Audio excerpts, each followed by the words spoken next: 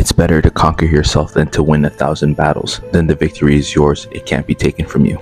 This video was inspired by a podcaster who said that Buddhism isn't worth looking into because it's been around for a long time and hasn't spread beyond Asia. I think that that's ridiculous because Christianity and Islam didn't spread because both religions were so compelling that people couldn't help but convert to the religion.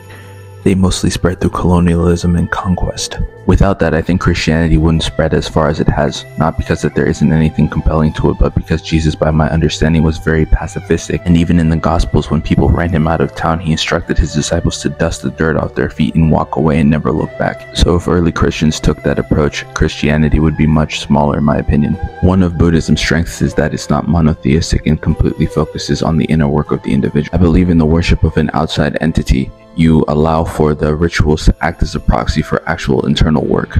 A criticism of the larger faiths, for example, is that they are full of dogma. The Buddha encouraged his followers to question everything, even his own words. Buddhism, being a smaller religion comparatively, means to me that it has maintained a level of purity that these other religions haven't maintained. We all intrinsically know that when too many people get involved in something, it ruins the fundamental essence and purity of the thing.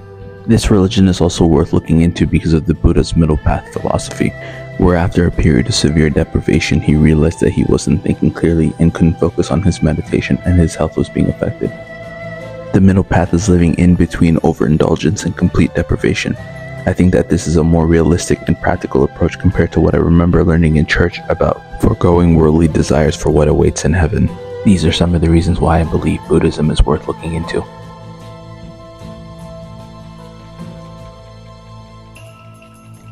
I'm not telling you what to believe, I'm just sharing a lingering thought I've had in my mind. I wanted the Buddha to be the main piece, being that he's the founder of the religion.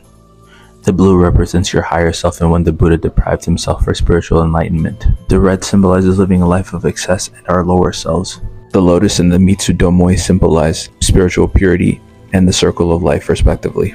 This is the Japanese kanji for spirit. This kanji means balance. Thanks for watching.